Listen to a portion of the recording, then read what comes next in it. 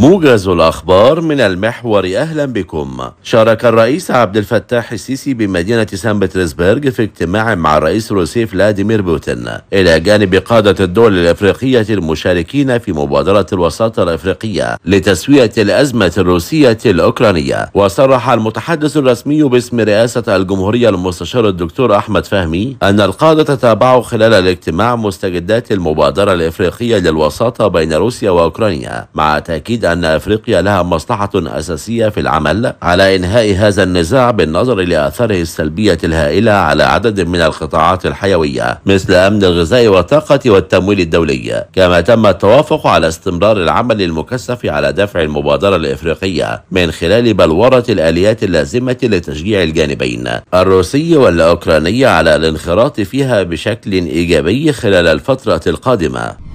أعلن وزير الصحة والسكان الدكتور خالد عبد الغفار العمل على توحيد الجهود مع المجتمع الدولي للقضاء على التهاب الكبد الفيروسي بحلول عام 2030 بما يتماشى مع تحقيق أهداف التنمية المستدامة للأمم المتحدة وأهداف منظمة الصحة العالمية التي من شأنها ضمان تحقيق الازدهار للجميع. جاء ذلك في كلمة ألقاها وزير الصحة في اجتماع منظمة الصحة العالمية بجنيف احتفالا باليوم العالمي للالتهاب الكبدي. وتحت عنوان حياة واحدة كبد واحد. توسيع نطاق اختبارات وعلاج التهاب الكبد الفيروسي لتحقيق أهداف التخلص من هذا المرض في عام 2030 وأشار وزير الصحة إلى أن مصر حققت خلال السنوات القليلة الماضية نجاحات مبهرة فيما يخص القضاء على فيروس الالتهاب الكبدي سي والذي كان يتسبب في وفاة ما بين 40 إلى 50 ألف شخص سنويا حيث استطاعت مصر وضع خطة متكاملة تشارك بها كافة الجهات والقطاعات المعنية لتحقيق الوقاية وتوسيع نطاق التشخيص والوصول إلى العلاج والتي نجحت في تشخيص وعلاج ما يقرب من أربعة ملايين مريض بفيروس الالتهاب الكبدي سي في أقل من خمس سنوات.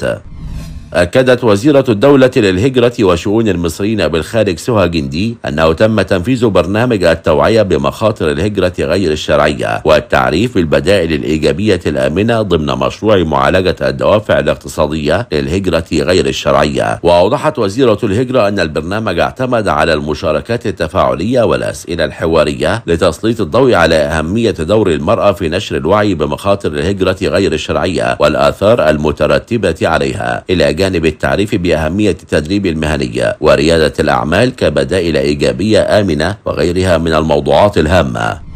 تلقى وزير الموارد المائية والري الدكتور هاني سويلم تقريرا لاستعراض أعمال تأهيل أفمام الترع الآخذة من ترعة الإبراهيمية أسفل خط السكة الحديد القاهرة أسوان. وأوضح وزير الري أن هذه الأعمال تتم بالاشتراك بين قطاع الخزانات والقناطر الكبرى ومعهد بحوث الإنشاءات التابع للمركز القومي لبحوث المياه. وذلك في إطار العمل على تحديث وتأهيل وصيانة المنشآت المالية بمختلف محافظات الجمهورية. Рита.